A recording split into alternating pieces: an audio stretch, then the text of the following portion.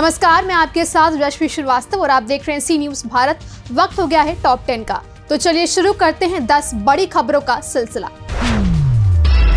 Cabinet ने PM Vijayalakshmi योजना को मंजूरी दी। सीएम योगी बोले, ये महाअघाड़ी नहीं महाअनाड़ी गठबंधन है। मलयालम अभिनेता नवीन पॉल को, बड़ी राहत यौन उत्पीड़न केस में मिली क्लीन चिट।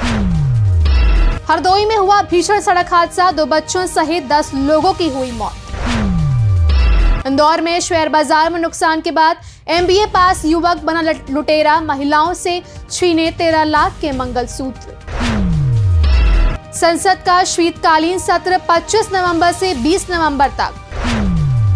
जम्मू कश्मीर विधानसभा में 370 बहाली का प्रस्ताव पास। बीजेपी विधायकों ने किया हंगामा। अमेरिकी डॉलर के मुकाबले रुपए 21 पैसे गिरकर चौरासी दशमलव तीस पर पहुँचा।